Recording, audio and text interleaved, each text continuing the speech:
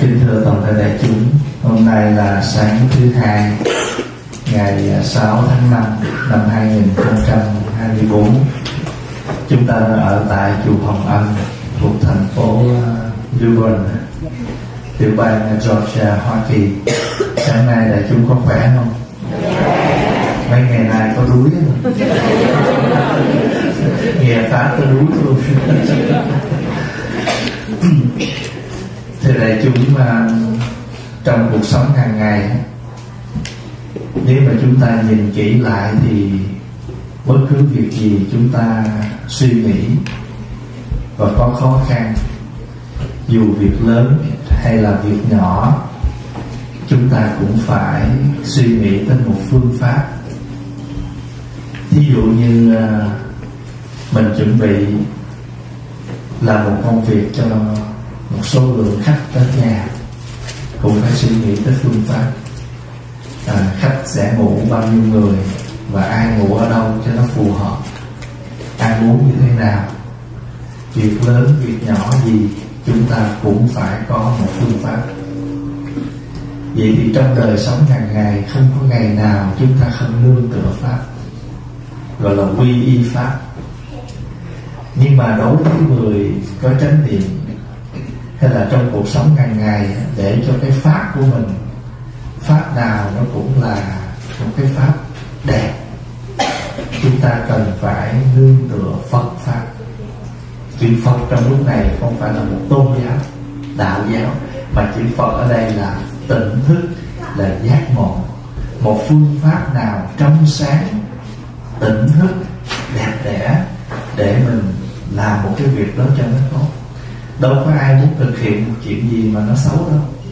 Ai cũng muốn thực hiện một chuyện gì nghĩ là phương pháp nào tốt nhất để làm. Ví dụ như uh, chùa Hồng Anh đây. À, tổ chức chương trình ngày hôm qua quý vị thấy cũng mấy trăm người sáu bảy trăm người. Thì nếu mà cái chùa này thì làm sao?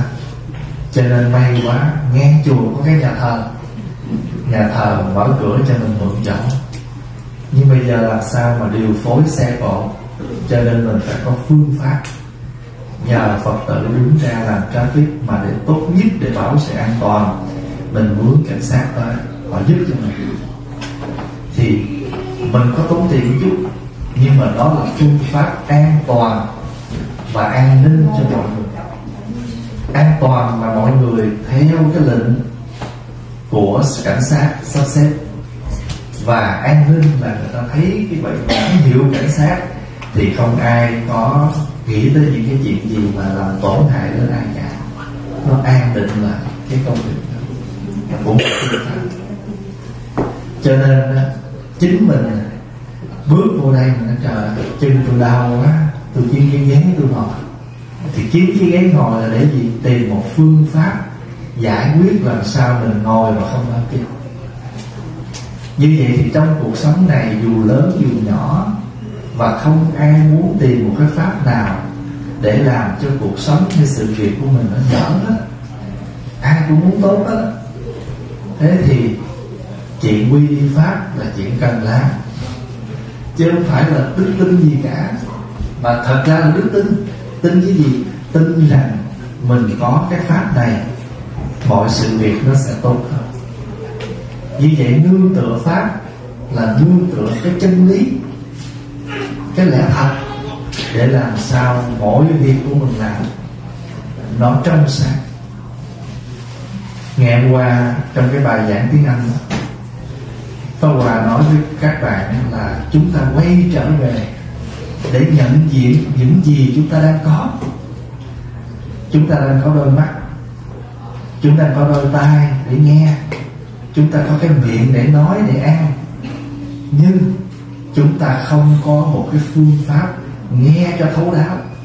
Cho nên gây gỗ và hiểu lầm chúng ta có miệng nói, nhưng chúng ta không có phương pháp nói để làm cho người khác hạnh phúc với lời nói của mình. Chúng ta được quyền ăn, nhưng không có chánh niệm, không có phương pháp ăn, cho nên ăn bệnh tật. Như vậy, tu là sự trở về nhận diện những cái gì sẵn có nơi mình. Như trong một bài sáng chúng ta tụng tâm minh vốn đã sẵn rồi ở trong mình có há ngoài đâu xa. Trong cái bài sáng tu là cõi phúc ấy, có cái câu đó, đó. Tâm minh vốn đã sẵn rồi. Tâm minh nghĩa là cái tâm nó trong sáng nó vốn đã sẵn rồi ở trong mình có há ngoài đâu xa. Chỉ cần gì? Trừ nghiệp chướng giải quan gia trì trai niệm phật, ấy là công phu. Trừ nghiệp chướng giải quan gia là gì? Cái nghiệp của mình là cái nghiệp ăn nói không có suy nghĩ. Thậm chí ăn không suy nghĩ cho nên càng ăn càng bệnh nói không suy nghĩ, càng nói càng hỏa. Ngài có ăn với nói mà không cái nào nên hơn hết hiểu ý không? Như vậy thì tâm minh vốn đã sẵn rồi, ở trong mình có á ngoài đâu xa trừ nghiệp chướng. Thế nào là trừ nghiệp chướng? Mình cứ sống theo cái thói quen đó gọi là nghiệp. Mà chính cái nghiệp này nè, cái nghiệp mà thói quen xấu này nè, nó sẽ làm trở ngại cho mình rất xin phép, xin lỗi nhiều khi mình có con lớn lên, con nó quen với ai? Nó muốn cưới cái mày, cưới đứa nào? Nó con có bà bảy, bà ta. Thôi thôi thôi tao lại mày. Nó là mẹ là nó hưởng tới con tại vì người ta sợ làm xui với một người. Người ta sợ làm xui với một người mà nói chuyện không có được. Nghiêm túc hay là nói chuyện không có được suy nghĩ.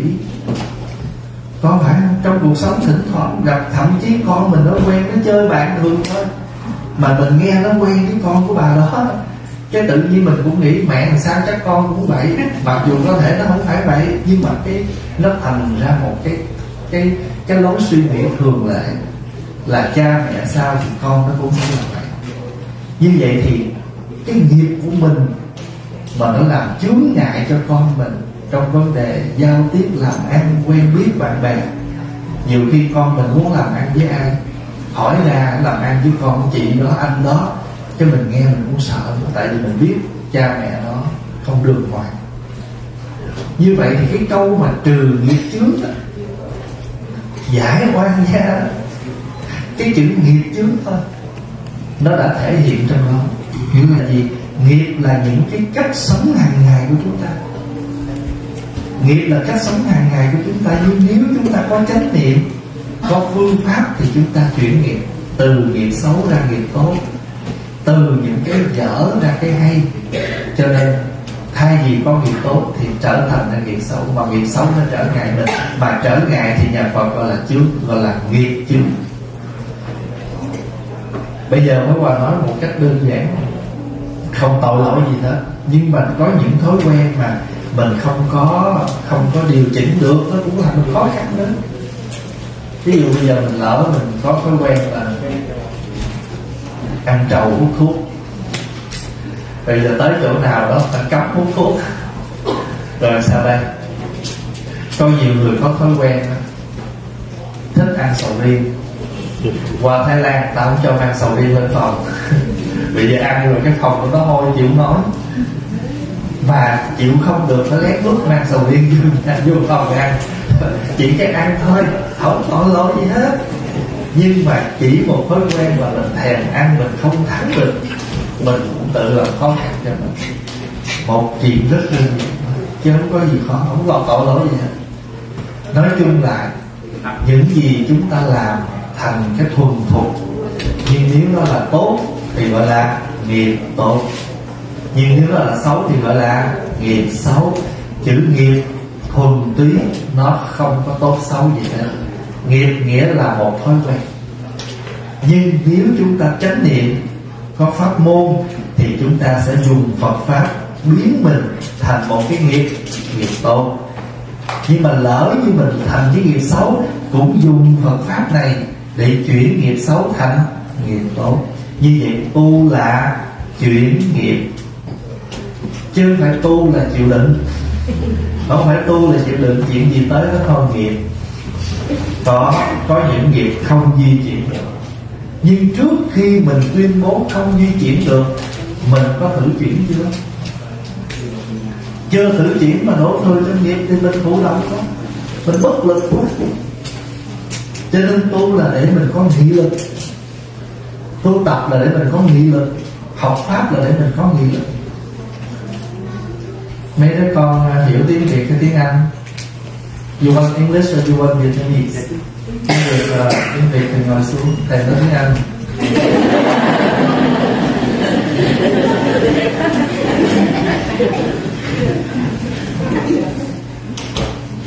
quý vị hiểu được chưa đó không? Mình không phải cái gì mình cũng nói cho nó xuôi câu, cho nó qua là mình trở thành một người sống mà không có cái ý chí Phật pháp không dạy mình như vậy thí dụ như cái câu này nó tùy duyên đâu được anh có tạo duyên chưa mà anh tùy? Anh có gieo duyên chưa mà anh tùy? Anh có khởi duyên chưa? Duyên thì chưa khởi, duyên thì chưa tạo, duyên thì chưa có gieo. Mà chỉ đụng chuyện cái tùy duyên. Ví dụ như giờ mình bệnh, con mình nó nói, má má, bữa nay con nghĩ làm, con chở nó đi bác sĩ, thôi tùy duyên đi đâu có nói gì được. Còn còn nó rảnh chở mà đi bác sĩ. Trừ khi nào mà nó thiệt sự là nó từ chối mình mình tiến hết cách rồi. Chứ thật sự ra, con hay bất cứ ai mà nghe mình bệnh là ta tìm cách ta nghĩ làm, nghĩ việc, ta chở mình đi viện mình mới tạo mình bệnh, mình không nói ra ai biết. Mình phải nói cho ta biết mình bệnh, rồi mình tạo cái duyên để mình được đi bác sĩ. Còn mà vô bác sĩ rồi, chữa rồi, mà ai ngờ nó chữa lộn thuốc. đó, giờ mới tùy duyên đó. Lúc đó không muốn tùy, cũng không được. Phải tới giờ thôi.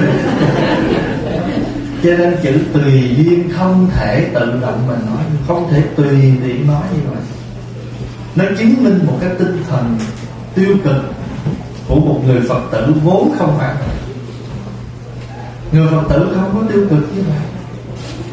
Mà chữ tùy duyên là để chúng ta sống tự tại với các duyên sống tự tại với các duyên mà trong cái duyên đó mình biết biến chuyển thì đây này gọi là, gọi là tùy duyên mà bất biến này bây giờ mình lỡ mình, mình muốn nấu một nồi cháo cho ngon đại khách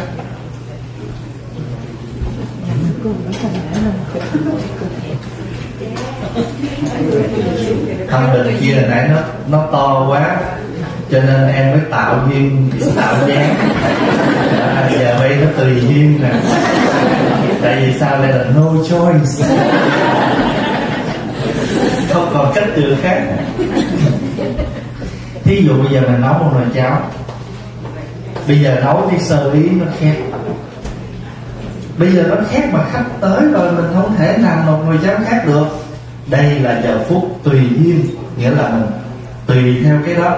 Nhưng trong cái tùy duyên này, chúng ta sẽ tạo duyên là vớt cái phần ở trên để biến nó thành một nồi cháo khác mà không ăn phần khác ở dưới. Trong cái cảnh khó mà chúng ta bất biến, nghĩa là không chịu đựng, không để nồi cháo như vậy, mà chúng ta phải biết cách đưa cái cái phần cháo bên trên ra khỏi cái nồi cháo khác càng sớm càng tốt và bắt đầu chuyển hóa nó. Cho lá dứa vào, nấu cho nó mùi thơm lên, để một cây muỗng vào cho nó bớt mùi khét thí dụ vậy không phải trong cái cảnh khó nhưng không để cái khó đó nó làm khó mà quý vị nhớ cái bài hát không? Đường tuy khó không khó vì ngang sông cách núi nhưng khó vì lòng người ngại núi e sông. Tinh thần của người phật tử không phải là lúc nào cũng sống đổ thừa cho nghiệp đổ thừa cho tùy duyên mình sống như vậy người ta sẽ nhìn đạo phật là gì đạo phật rất là tiêu cực mà vốn đạo phật không hề tiêu cực đức phật đâu phải là người tiêu cực như vậy. Đức phật thấy khổ, nhưng đức phật không chịu trả vào cái khổ mà giúp còn đi tìm phương pháp diệt khổ. Thì chúng ta cũng phải thế cho nên không có thể đổ thừa, đồng ý tất cả chúng sanh ta, ai cũng có nghiệp. Nhưng có những nghiệp mình chuyển được không? Mà không cố gắng chuyển trừ khi nào chuyển hết nổi, làm hết sức, chừng đó chúng ta mới chấp nhận. Gọi là tùy nghiệp. Nhưng trước khi chúng ta chuyển nghiệp mà cứ nói như vậy là không nên. Sáng ra mình muốn đi chợ, cũng phải kiếm xe chứ. Đâu có phải trong đầu tôi khởi đi chợ hỏi sao má đi? Tùy duyên ở đây hỏi nó không đi. Con đâu có biết má muốn đi chợ. Sao mẹ hỏi? Mẹ hỏi tao tùy duyên chở tao đi chợ chở gì đói. Đó rồi cứ chút chút vậy trong cuộc sống. Đâu có được phải đâu. Rồi mình vô hãng. Đó, vô tiệm làm chung. Mọi người phải nên tạo cho mình một cái duyên một cái không khí trong lành để mà sống với nhau trong 8 tiếng 9 tiếng đi làm ai cũng thở chung một bầu không khí trong cái cửa tiệm đó hết trong cái chỗ làm đó hết. Nhưng tại sao mình không ráng tạo ra một cái không khí trong lành để cùng hít thở với nhau? Có 8 người làm trong tiệm mà bảy người khí độc. À, còn nếu mà nó thôi ai cũng đọc đó để tôi đọc luôn. Thành nữ nguyên cái tiệm khí độc thở ra thôi cũng khí độc chứ chưa kịp nói rồi cái vô cái không khí nó ảm đạm. Mà rốt cuộc mỗi ngày chúng ta làm khổ nhau. Làm khổ nhau ở trong cái phạm vi đó 8 tiếng đồng hồ. Rồi cái người đó, họ hít thở cái không khí khổ đau đó, họ đem về, họ khổ đau cho người thân họ. Có phải chúng ta đang lây lớp cái nghiệp với nhau? Mà mình học Phật để mình trong sáng tâm thức của mình. Thật ra tiền là gì? Chỉ là một tờ giấy, có con số nhưng mà sở dĩ nó được, nó để cho nó có một giá trị, thì chúng ta có chính phủ, có đất nước đó ấn chứng đây là một giá trị của một số lượng nào đó chứ thật sự ra, cái tiền đó trong chợ tàu nó bán sắp trăm tờ, trăm đồng, có đồng bạc á, để đốt cái người chết nó cũng tiền đô la rồi đàng hoàng một ngàn, năm ngàn gì đó.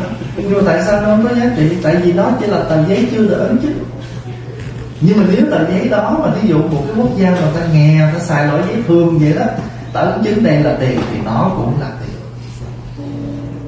Tất cả là do một cái sự sắp xếp nào đó để nó xác định một giá trị nào đó. Thành nữ ra thưa là chúng mình tu tập đó Pháp Hòa Mỹ Phương là cái chữ Pháp ở đây đó, là phương pháp mà phương pháp này là phương pháp của Phật của tỉnh thức của giác ngộ để chúng ta ứng dụng cái pháp đó trong cuộc sống hàng ngày của chúng ta. Mà nếu cái việc đó rất nhỏ mà chúng ta thử chúng ta giải quyết nhẹ nhàng đó mình làm vui vẻ mình làm hạnh phúc cả một cái không gian. Dù một cái việc rất nhỏ. Cho nên đó ở trong cái cái bài cái một cái câu kệ của một vị tổ đó, có thì có từ mãi mãi không, thì cả thế gian này cũng không. Nếu mà nếu mà nói là một cái hạnh phúc, một cái đẹp đó đẹp.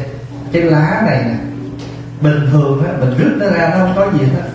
Nhưng mà nếu mình cắm nó vô đây, nó sẽ làm đẹp cho bình hoa tại vì nguyên tắc người ta nói là cấm hoa. Nhưng mà hoa không đâu đẹp. Phải có lá như vậy lá nó không đóng cái vai trò chính cho cái bình hoa này. Nhưng mà thiếu nó thì bình hoa này cũng mất đẹp. Thiếu đẹp mặc dù không ai nói cấm lá cấm hoa, nhưng mà hoa phải nhờ như vậy một mình nó nó không là gì, nhưng đi nó vô đây nó là tất cả. Nó sẽ thể hiện tất cả. Nếu mà nói cái không, một miếng này là không. Thấy không? Hay nếu nói cái không, cả cái bình hoa này cũng là không, tại vì bản chất nó cũng sẽ khô, héo và chết đi. Đó, cả bình hoa nói không là không đó còn nói có một cái lá cũng phải cho là có có thì có tự mãi may. À, một cái cũng cho là có. Còn không thì cả bình hoa này cũng không. Nếu nó có, một người ngồi đây cũng là có. Còn nếu nó không, cả cái chùa cái thế gian, cái vũ trụ này cũng là không. Tại thủy chung ai cũng phải về không, về các bụi đó. Cho nên mình thấu đáo được lẽ đó. Thì mình nói, tôi không là gì hết đúng. Nhưng mà tôi là tất cả tại vì mình thấy được mình không là gì thì mình mới là tất cả. Đó, thử bữa nay mình ngày mai, ngày mốt, mình vô tiệm mà mình vui vẻ với mọi người mình thấy không gian cái tiệm đó, cái nơi chốn làm nó khác. Đi làm về mà mình vui vẻ với cả gia đình khác. Cho nên cuộc sống của chúng ta, tại sao chỗ nào cần trang trí phải để bình hoa? Cái gì đẹp là chúng ta đưa vào. Chỗ nào cần trang trí, đưa bình hoa tới nơi nào có một người tươi mát, chỗ đó tự nhiên khác liền. Con người là chủ cái đẹp. Con người thích cái đẹp, thích cái hay, thích cái tốt. Nhưng mà tại sao chúng ta đời sống hàng ngày vô từ không đẹp? Cách sống không đẹp thì chúng ta mất đẹp. Mà cái đẹp đó, nó rất cần trong cuộc sống. Nó sẽ phối hợp với cái đẹp mà chúng ta ăn mặc, trang điểm trên thân thể cho nên tu là sự trở về. Trở về đâu? Trở về chùa trở về với chính mình. Trở về với chính mình để nhận diện mình đã có tất cả. Mình có đôi mắt để nhìn, có lỗ tai để nghe, có miệng để nói, có trái tim để cảm. Nhưng xưa giờ, nhìn cái gì cũng gây nghiệp trước, nói cái gì cũng gây nghiệp trước, nghe cái gì cũng gây nghiệp trước bây giờ chuyện nó lại. Nghe bằng tai xót thương nhìn bằng nhìn hiểu biết. Cảm nhận cuộc đời này bằng tấm lòng lớn nhìn và nghe như thế là hạnh của bồ tát. Có thể làm vơi nhẹ khổ đau trong cuộc đời. Ai nói gì đó? Sao chị biết? Hồi nãy nó đi nghe, nó nói vậy thì chị nghe có một phút đó là chị đâu có nghe hết câu chuyện đâu mà sao chị luận đó nó gì chi? Thôi, khoan đi chị, khoan đi anh, để mình nghe hết câu chuyện đó là sao? Mình chưa biết, nhưng cũng không dám quả quyết. Dừng nghe đó đi. Đừng có tiếp tục cái con đường vậy đó hả?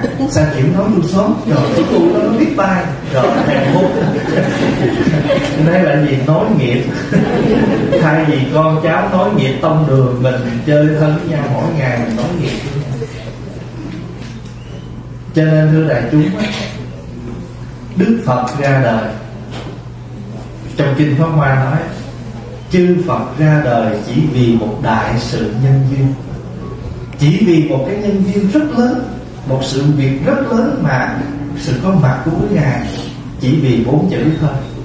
Đó là khai thị ngộ nhập, khai phật tri kiến, thị phật tri kiến, ngộ phật tri kiến, nhập phật tri kiến. Nghĩa là ai cũng có cái thấy biết sáng suốt của mình, nhưng không ai sử dụng nó đúng đúng cách thì Phật ra đời chỉ anh có cái đó phải sử dụng đúng cách gọi là khai và thị khai là mở, thị là chỉ. Chỉ cho người ta nhận ra. Giống như cái cái phong tay mà bây giờ mình đang có mấy em nhỏ con mình nó biết sử dụng toàn bộ cái phong đó, mà nó mua cho mình cái phong xịn. Mình biết có hai việc thôi. Bắt phong với tắt phong chứ không biết tắt cái chuông. Đó. Có nghĩa là mình có một cái form rất là linh động, gọi là form thông minh, nhưng mình đâu biết nhiều gì đó đâu, đúng không?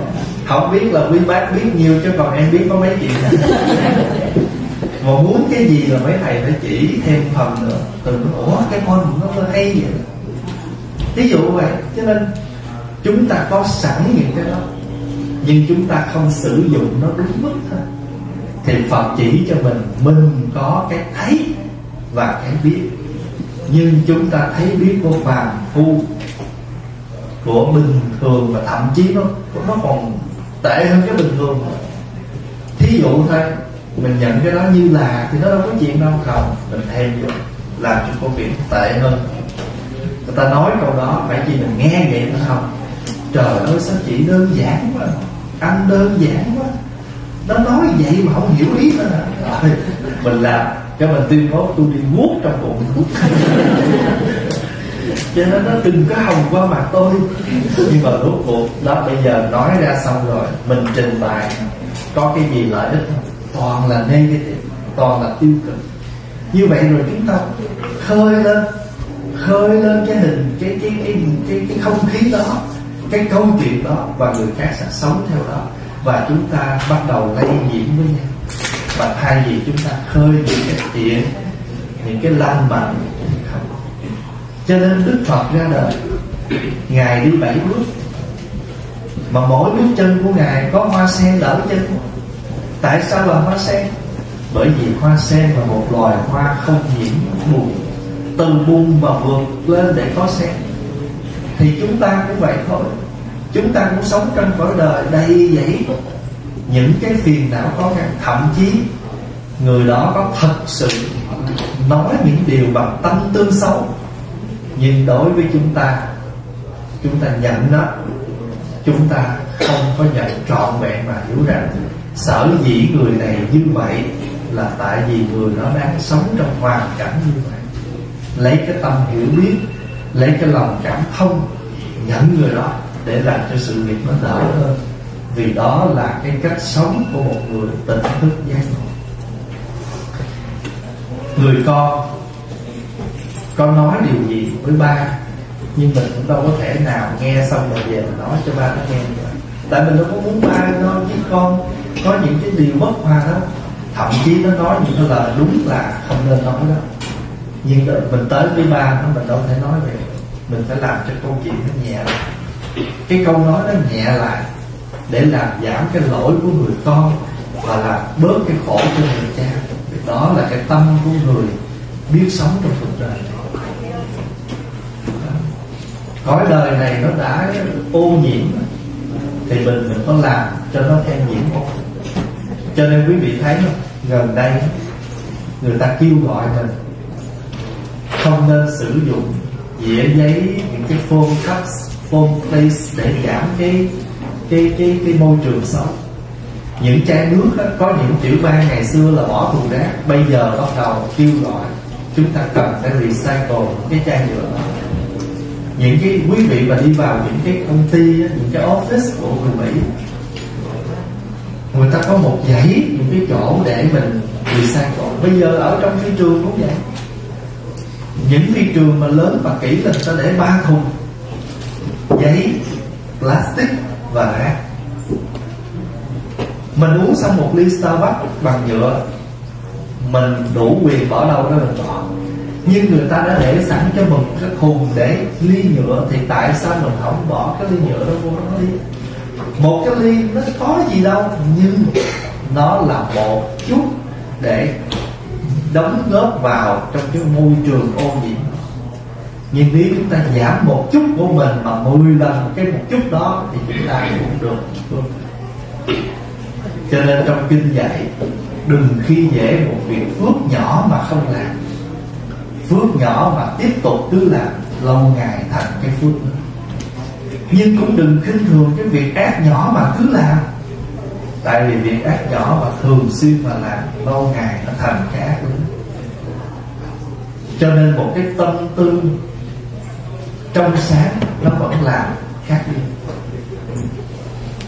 Quý vị mỗi ngày mở đèn, tắt đèn, ít nhất một lần trong ngày đó, thì quý vị nên viết cái bài kệ mở đèn ở trên cái chỗ đó để mỗi lần mình bật cái đèn lên thì mình đọc cái bài kệ bài kệ nó như thế này. Thất niệm là bóng đi chánh niệm là ánh sáng đưa tỉnh thức trở về cho thế gian tỏ ràng bốn câu đó thất niệm là bóng đêm, chánh niệm là ánh sáng. Đưa tỉnh thức trở về cho thế gian tỏ ràng nghĩa là hãy mình tắt đèn là tối, mà tối là thất niệm. Tượng trưng cho thất niệm, nghĩa là sống không có chánh niệm. Mất đi chữ thất này là mất đi cái cái ý niệm trong sáng tỉnh thức gọi là thất niệm. Thất niệm là bóng đèn nhưng mà chúng ta mở đèn là sáng lên thì sáng cho ai cũng thấy rõ. Cho nên sáng đó là chánh niệm. Chánh niệm là ánh sáng. Người tu tập chúng ta lấy hai cái hình ảnh tắt đèn và mở đèn để làm sự tu tập cho mình là gì? Chúng ta hãy sống mỗi ngày đưa tỉnh thức, đưa sự giác ngộ tỉnh thức trở về cho thế gian này được tỏ này. Chữ tỉnh thức là dịch từ chữ giác ngộ. Quý vị hay nghe nói chữ giác ngộ. Còn người đã tu tới chỗ giác ngộ. Tu giác ngộ không có nghĩa là đùng một cái ngồi trên bông sen. Đi tới đâu cũng bật nước với lửa, bay dèo dèo ở trên, không phải. Giác ngộ không phải vậy. Người giác ngộ là người tỉnh thức, nghĩa là sống lúc nào họ cũng thức tỉnh không bao giờ bị mê lầm. Việc gì biết rất rõ, biết là họ nói cái gì, chúng ta nhận cái đó mà không có thêm thắt cái tư kiến của mình vào để làm cho sự việc nó xấu hơn. Còn nếu mình có thêm vào mà làm cho nó tốt hơn thì nên là còn được, không sao. Thật ra nó cũng là vọng đó, chưa chắc mà. Nhưng mà so ra giữa cái thêm vào để sự việc nó xấu hơn và thêm vào để sự việc nó tốt hơn thì cái này vẫn là cái khả dĩ thôi. Thất niệm là bóng đêm chánh niệm là ánh sáng đưa tỉnh thức trở về cho thế gian tỏ ràng giờ quý vị đọc lại một lần có phải nha. Thất niệm là bóng đêm. Thất niệm là bóng đêm. Chánh niệm là ánh sáng. Chánh niệm là ánh sáng đưa tỉnh thức trở về. Đưa tỉnh thức trở về. Cho thế gian tỏ ràng. Cho thế gian tỏ ràng. Em đã thuộc chưa?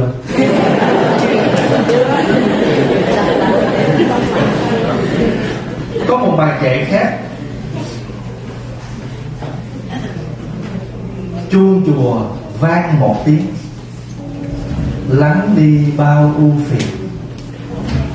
Niệm lành tâm ta khởi cảnh trần hóa cảnh tiên. Phải không? Chuông chùa vang một tiếng lắng đi bao ưu phiền. Cũng như thế một niệm lành tâm mình khởi thì ngay cái chỗ cảnh trần này hóa cảnh tiên. Đại chúng đọc bài kệ chuông chùa vang một tiếng. Chuông chùa vang một tiếng. Lắng đi bao ưu phiền. Lắng đi bao ưu phiền niệm lành tâm ta khởi. Niệm lành tâm ta khởi. Cảnh trần hóa cảnh tiên. Cảnh trần hóa cảnh tiên. Viết bài kệ dán ngay cửa tiệm.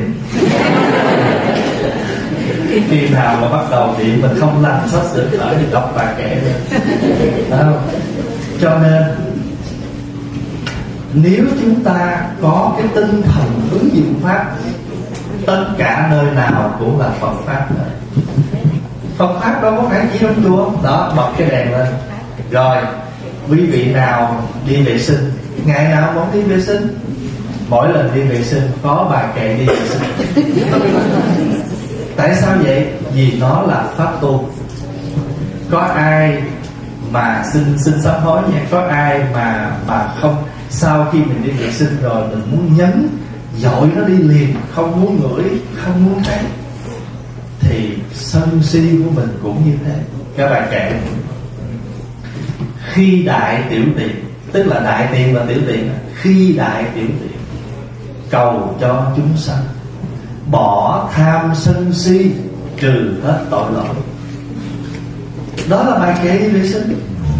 Mình viết bài kệ đó để ngay chỗ đi vệ sinh để làm gì? Để nhắc mình phải bỏ tham sân si như mình sắp sửa dội cái mà chúng ta dơ bẩn chúng ta vừa đưa ra Hễ ngày nào trong người này nó còn xin lỗi, nước tiểu hay là còn mình muốn đi cầu mà không đưa được thì nó làm sao? Nó rất là bức bách, khó chịu lắm. Và phải tìm cách đi ra thì tham sân si cũng như thế khi đại tiểu tiện cầu cho chúng sanh, bỏ tham sân si trừ hết tội lỗi đại tiểu tiện thời, đương nguyện chúng sanh, khí tham sân si. Khí tham sân si. Làm sao mình bỏ hết tham sân si? Nhưng mà bỏ thì, bỏ rồi cái đó tụ lại không? Có không? Có. Nhưng mà không sao. Chuyện đó là chuyện ngàn đời, giống như ăn rồi, ra ra rồi ăn vậy. Nó chuyện ngàn đời của con người mà. Khi nào mình chết rồi thì nghĩ lúc đó ngửi thôi. Tôi để lên bàn cho mình ngửi thôi. Cho nên chết không có ăn. Khi mình còn sống bỏ vô miệng ăn gọi là đoàn thực. Đoàn thực nghĩa là gấp bỏ miệng nhai nhỏ nhỏ rồi nuốt gọi là đoàn thực. Nhưng chết rồi đối với cái người không có hiện hữu trên thế gian này không ăn kiểu đó mà ngửi trên gọi là xúc thực. Mà xúc thực này á cũng là một loại ăn mà hàng ngày chúng ta ví dụ ha. Mới gặp cái người trời ơi, cái người đâu mà dễ thương như vậy. Rồi tôi nhìn tôi thích ghê vậy đó. Xúc thực mới nhìn thích thì chưa biết tánh tình ra sao vậy nhưng mà có những người mình mới vừa tiếp xúc một cái thì ghê. Hay là sao? Trời, tôi thấy nó có tôi ngò xúc thật đó. Tức là mình xúc thật là mình tiếp xúc người đó qua cái mắt của mình, cái tai của mình qua cái sáu căn của mình. Đó là một dạng thực, nhưng mà xúc thực. Có bao giờ mình cảm nhận buồn mà mình no không, ngày đó mình không đói. Có không? Rồi có khi nào mình cảm nhận vui mà mình no luôn không?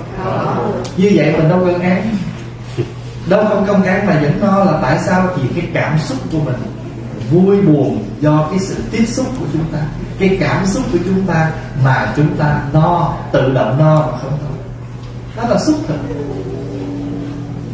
Nhưng mà rồi hàng ngày chúng ta có một loại thực nữa là gì? Đó là thức thực nhận thức. Rồi một cái loại thực mà ăn đó là tư niệm thực. Tư niệm thực là gì? Những cái hoài bão của chúng ta nhưng nếu chúng ta có chánh niệm thì chúng ta sẽ nuôi những hoài bão thánh thiện.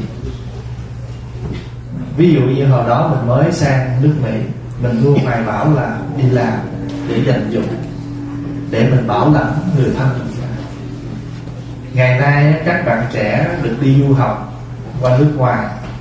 Sau khi học xong có việc làm, các bạn xin ở lại.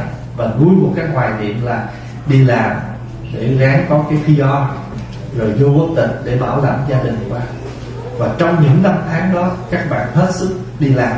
Không chơi, không có la cà, dành dụm tiền bạc. Có một cái gì, có một cái tư niệm thực là một cái hoài bão từ khi đặt chân đến nước mỹ cho đến ngày đưa cha mẹ sang đây, suốt những năm tháng đó là một cái món ăn bất ước nhiều khi mệt mà vẫn cố gắng gì phải ráng học tại ngày mai có bài thi. Và phải ráng học kỳ này để mình đỡ tiền, mình học thêm một cô nữa một năm nữa mình tốn tiền. Ví dụ vậy, luôn luôn nuôi, lấy những cái hoài bão đó để nuôi mình, phấn đấu mình vượt tất cả mọi cái khó khăn. Đó là tư niệm thực ở đây chúng ta đều có cái tư niệm thật hết nhưng ngược lại cũng có một người nào đó, người ta nuôi một cái ý niệm để trả thù, để rửa hận. Cho nên người ta ráng sống, không phải để làm gì, sống để trả thù. Phim tàu nhiều nói chuyện đó. Thậm chí mà cha sắp chết mà còn biểu con ráng trả thù.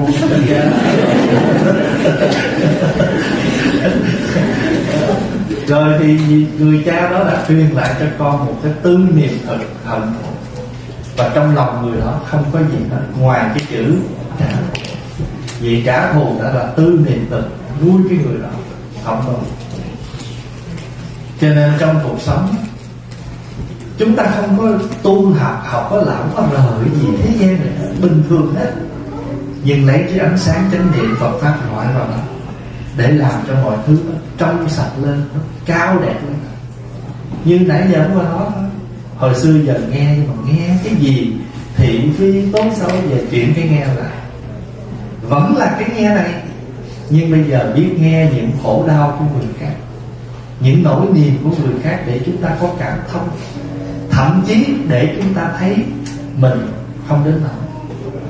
Thưa đại chúng uh, mỗi lần pháp hòa có những người đến chia sẻ khổ đau trong cuộc sống thì các thầy trẻ có khi đi theo. Pha trà nước thì đứng hầu, trà thì có nghe một vài câu chuyện trong cuộc sống. Thì sau khi xong rồi thì có mình nói, khi mà mình nghe những câu chuyện như vậy để mình thấy rằng, thứ nhất, mình chọn con đường đi tu là không có sai tại vì mỗi ngày sống của mình mình làm lợi ích ít nhất một người hoặc nhiều người. Và mình không có sai ở cái chỗ là mình đừng có mơ mộng về cái cuộc đời của ngoài thế gian thấy vậy chứ không phải vậy. Đâu người ta muốn có được một hạnh phúc, người ta cũng đánh đổ rất nhiều. Và thậm chí người ta làm rất nhiều, nhưng người ta chẳng được. Tại vì mỗi người, mỗi hoàn cảnh, mỗi người, mỗi nghiệp lực cho nên mình đi tu là một hạnh phúc lớn. Không phải vấn đề chúng ta được an nhàn, tự tại, không phải cái chuyện đó. Nhưng mà cái chính yếu là chúng ta đã tận dụng thời gian của mình để làm những việc giúp đỡ cho mọi người. Khi người ta có việc, người ta cần đến sự giúp đỡ của mình ở mặt tâm linh, tinh thần.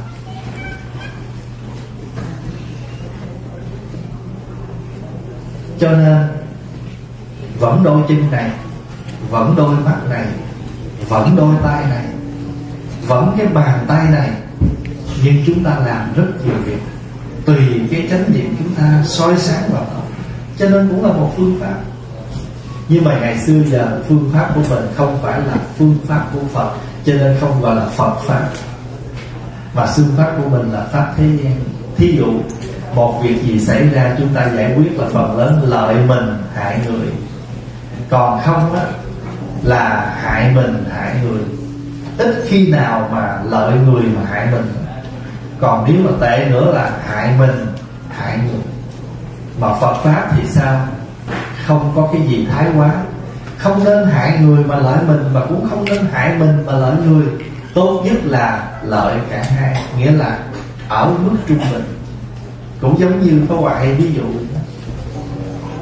quý vị nấu một món ăn nếu nấu cho một mình mình ăn, nấu khác, nấu đúng khẩu vị của mình. Nhưng nếu nấu cho người khác ăn, thì phải quán cái chung chung. Ví dụ mình có thể nấu lạc một chút, ai thích mặn thì người ta thèm. Hay là nấu bớt cay một chút ai thích cay người ta tự thêm còn mình không? Món này cay tới bến. Thì mình nấu cay tới bến thì con mình bến mình ăn. Mấy bên kia đổ không nổi. Người ta ăn cái cay đó người ta chịu không nổi. Như vậy rốt cuộc cái mục đích mình nấu cho mọi người ăn nó nó không đúng đi. Mình nấu cho mọi người ăn mà nấu ra rồi không ai ăn được hết, thì nó uổng cái công của mình. Vậy thì tại sao chúng ta trước khi làm, chúng ta không quán là nấu cho ai ăn? Và thậm chí mình rất rõ là nấu cho mọi người ăn. Mà công thức nấu không đúng cho mọi người ăn thì nó uổng công tâm tư thì tốt, mà hành động thì chưa đúng mức. Cho nên rốt cuộc lòng mình và việc làm của mình nó không phối hợp được với nhau. Như vậy nó uổng đi chứ không có gì cả. Cũng giống như mình nói, mình gặp nhau đâu có ai nói em muốn cưới, anh muốn cưới em về làm vợ để anh được làm khổ em mỗi ngày. Vậy ai ai chịu? Anh muốn cưới em để anh có thể cho em hạnh phúc mỗi ngày và suốt đời này của anh. Rồi nghe xong chụp chiếc nhẫn đeo luôn. Liền nhưng mà rốt cuộc mình về, mình không có tiếp tục gia trì cái đó. Để làm cho nó từ một cái đỉnh cao chót vót, từ từ nó mòn xuống thưa đại chúng, trong sự tu tập, đức phật có một cái này. Khi mình tu tập, mình chứng ngộ, đức phật có một cái từ là gia hạnh. Mình làm sao mình, cái hạnh đó mình có rồi, nhưng mà phải liên tục. Giá trị nó để nó để nó đi lên cái chỗ ví dụ người ta lấy hai miếng gỗ á, người ta cà vô. Nhưng nếu người ta muốn có lửa thì người ta phải làm gì? Phải cà không được dừng dù chỉ một giây. Cà riết mà lửa nó xẹt ra từ cái miếng gỗ đó. Phải không? Thì sự tinh tấn của bạn. Có. Mài tinh tấn giống như mài hai miếng gỗ không thể dừng. Dừng là lửa nó không phát cho nên nó trong cái sự tu chứng đó, chúng ta phải có gia trì. Cho nên chuông này nè cái chuông này gọi là chuông gia trì. Cái chuông này gọi là chuông đại hồng nghĩa đại hồng chung này để thỉnh lên. Còn này là trong thời kinh này tại sao là gia trì tiếng chuông này? Cứ hết đoạn kinh bo. Đoạn đọc kinh nào dài quá, hết một đoạn bo. Để chi? Tỉnh đừng ngủ. Không không, cái tỉnh bo. Tỉnh có nhiều người đang gần gần cái ghe chuông cái ngồi vậy nên là bắt đầu từ cái tỉnh dậy cái ngồi ngồi ngủ đến bo, ngồi mà xuống thời kinh cứ lát ngục, lát tỉnh gì đó. Nhưng mà nhờ anh này, nhờ anh này cho nên lâu lâu anh điểm lên tiếng, anh giật mình nó hết chưa? Gia trì đó chuông này gọi là chuông gia trì. Chuông tụng kinh gọi là chuông gia trì. Phải không? Còn chuông này là đại hồng. Hồng nhận qua qua giải thích đó. Đại đại là lớn, hồng lớn hơn đại, cho nên nó lớn quá, một chữ đại không đủ cho nên phải dùng hai chữ đại hồng chung. Chữ hồng nguyên tắc đó là nó lớn. Nhưng mà vì nó lớn hơn cho nên phải xài hai chữ đại hồng. Cái mỏ ví dụ ta đây à, cái bữa nay à, đi à, hộ niệm nhớ cầm cái chuông gia trì theo. Dạ con chuông gia trì là chuông gì? Nhớ nghe chuông tụng kinh hàng ngày gọi là chuông gia trì.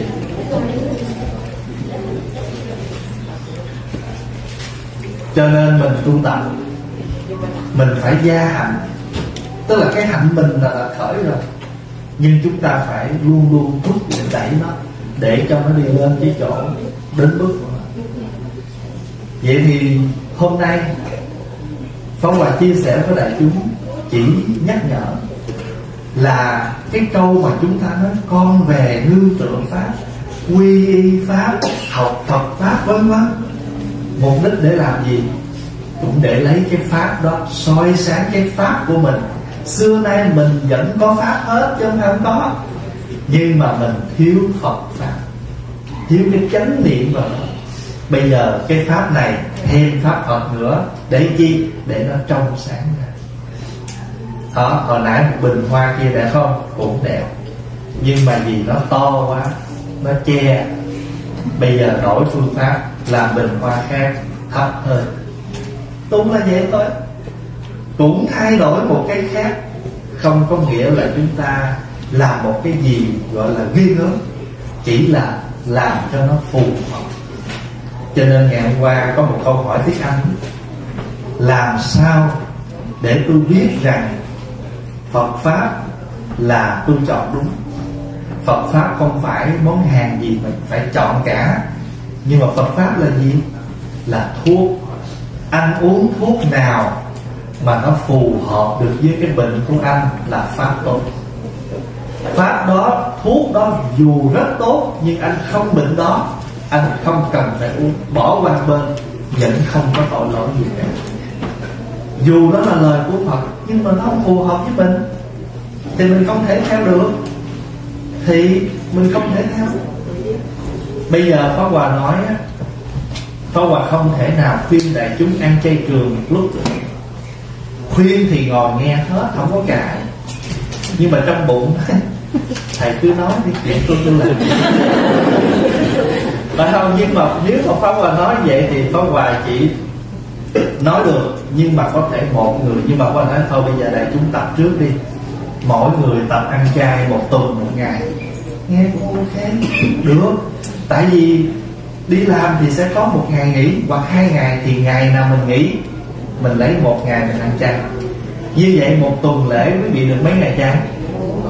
Nhưng nếu không vào nó ăn tháng 4 ngày nghe nó to tát quá. Ăn mỗi tuần một ngày cũng là ăn 4 ngày nhưng em có cách nói.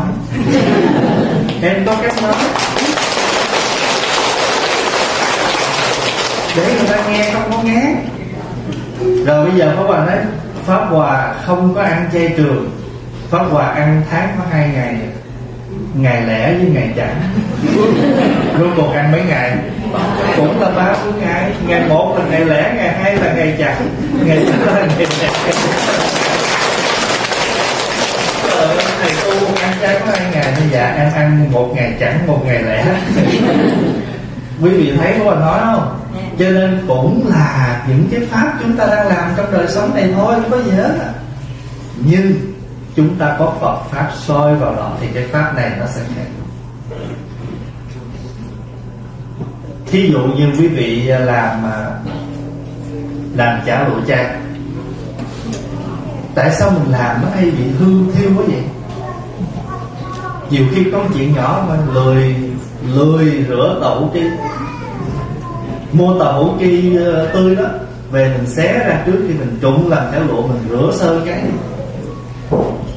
Cho nó chán đi cái dầu mà của cái tàu chị cũ đó, đó. thì cái tàu một cái chả lụa của mình làm nó sẽ lâu hơn hơn rồi nó sẽ trắng hơn. Và người ta kỹ nữa người ta khi mà người ta vừa đổ cái tàu hủ kia nó ra ta rắc muối lên liền, để cho nó nó ráo nước, ráo sạch nước. Và sau đó nếu kỹ nữa, cho miếng nước đá vô trộn, làm trắng tàu hủ kia thí dụ vậy, cũng là luộc tàu hủ kia cũng là cách làm chả luộc, nhưng thêm chút vô nữa thôi, nó khác liền. Mình ăn không được dầu ba lô phi chỉ dầu mè vô chả luộc. Cây chả lụa cắt ra thơm phức mùi dầu mè bây giờ có còn thưa đại chúng Phật pháp có gì lạ không? Không có gì đâu. Vậy thì quy pháp con trở về nhận giáo pháp, để giáo pháp này đi với pháp của con. Hai pháp này trở nên sao? Song hành tuyệt vời, gọi là đời đạo song hành. Và chừng đó, và chừng đó, chúng ta sẽ biết rằng cái gì gọi là đạo đi vào đời. Nếu đạo tách đời, đạo độ cho ai phải không? Đời mà rời đạo, đời lắm đau khổ. Đạo mà rời đời, đạo độ cho ai? Cho nên đời đạo phải song hành và xử lý phải song hành. Phật Pháp không rời thế gian là vậy đó. Nghĩa là Phật Pháp đi vào thế gian và làm cho cái Pháp thế gian tròn trĩnh hơn, Sáng suốt hơn, Viên mãn hơn. Sao không làm? Mình vẫn muốn nói điều mình không muốn, Nhưng Phật Pháp sẽ chỉ cho mình cách nói. Nói xong ta nghe và con xin nghe. Con nói, Mày thế này thế kia, nói xong ta nghe Nội cái mở đầu thôi là ta đã bực bội rồi. Thì cái message thứ hai ta đâu có nghe nữa mới vừa vô là đã dội cho người ta mấy viên gạch rồi, đau điếng đâu còn nghe gì nói bây giờ mình làm cách khác. Em rất là trân trọng sự có mặt của chị. Sự có mặt của chị đã giúp rất là nhiều. Nhưng mà em nhờ chị giúp thêm cái này. Nói cho ta làm. Thôi sáng mai mình à, sinh hoạt nhiều đã đủ. Đến giờ thì chúng ta chuẩn bị vào khóa lễ chính thức của ngày hôm nay. Nhưng mà cuối cùng con lại tôi muốn hỏi lại là nãy giờ có bà nói gì đại chúng hiểu ý không? Dạ. lấy phật pháp soi vào cái pháp mình đang có là thế gian pháp để làm cho mọi pháp của mình hành xử của mình cuộc sống của mình mỗi ngày nó thêm hương vị hương sắc tròn chỉnh và viên mãn. Cảm ơn đại chúng. Đại chúng mọi người. Khi mình đau chân mình tê chân mình thay một cái vị trí mình có một bài kệ khổ thọ và lạc thọ. Khổ thọ là đau chân. Lạc thọ là được duỗi ra hết đau chân. Hay là đổi cách ngồi đó. Khổ thọ và lạc thọ. Như mây trời theo gió nó không thật. Nó chẳng qua là một cái trạng thái đó nó đau. Mà đổi trạng thái khác thì nó hết đau. Thì nó đâu thật đâu. Như mây trời theo gió cái quan trọng là dù ở một cái cái vị trí ngồi nào, chúng ta vẫn không mất chánh niệm. Hơi thở là dây neo vẫn nướng vào hơi thở đó. Thuyền về nơi bến cũ. Thuyền á, mình cột nó nó có vậy nó có gió, nó có tạt đi đâu hồi thì nó dẫn động nó chứ không đi đâu hết, phải không? Chánh niệm mà có rồi thì chúng ta làm gì đi nữa cũng không ngoài phạm vi của Phật pháp khổ thọ và lạc thọ. Như mây trời theo gió, hơi thở là dây neo, thuyền về nơi bến cũ.